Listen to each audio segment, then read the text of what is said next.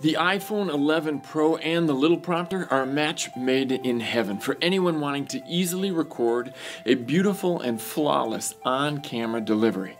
Nearly any smartphone or webcam can pair with the Little Prompter, but the iPhone 11 Pro has some clear advantages. First and foremost, the 11 Pro's telephoto lens makes the difference. The 52mm focal length pushes in and through the little prompter's interior and past the tray without needing the digital zoom. In this shot, I'll move from the telephoto to the wide angle and now back to the telephoto. Next up, you can shoot 4K 60 frames per second with your iPhone 11 Pro. You no longer have to sacrifice quality by leaving your high quality DSLR at home. To pair the two together, there are a couple things you'll need to consider.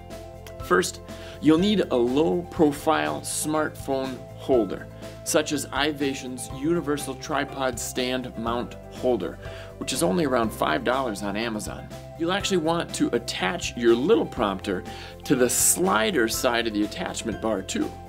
This allows you to connect your iPhone 11 Pro and the holder to the threaded hole closest to the slide gap. And you can still connect your tripod to one of the other threaded holes. Then, your iPhone 11 Pro will be your camera, so you'll still need an older model smartphone with a teleprompter app, such as Teleprompter Pro or PromptSmart, to display your text.